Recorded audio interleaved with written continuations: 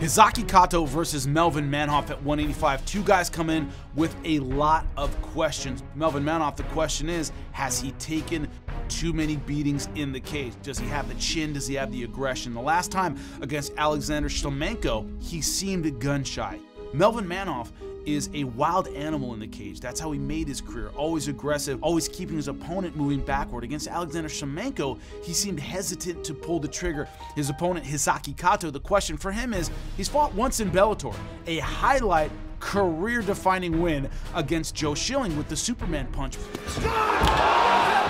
but not very experienced. Under 10 fights, so it's one of those things where we don't know exactly what he brings. He's pretty much a mystery in the Bellator cage. He made a lot of fans with his performance against Joe Schilling, but we don't know everything he can bring. Keys to victory for Hisaki Kato. Watch the aggression in the opening round. Be prepared to move because the Melvin Manhoef of old tended to start quickly. He has to be ready for that kind of bull rush mentality.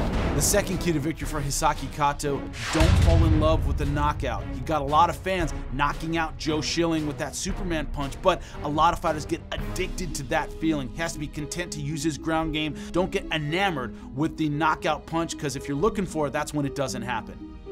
Keys to victory for Melvin Manhoef, get his confidence back. Start fast, believe in his kickboxing, believe in his offensive ability. Number two, don't leave yourself open.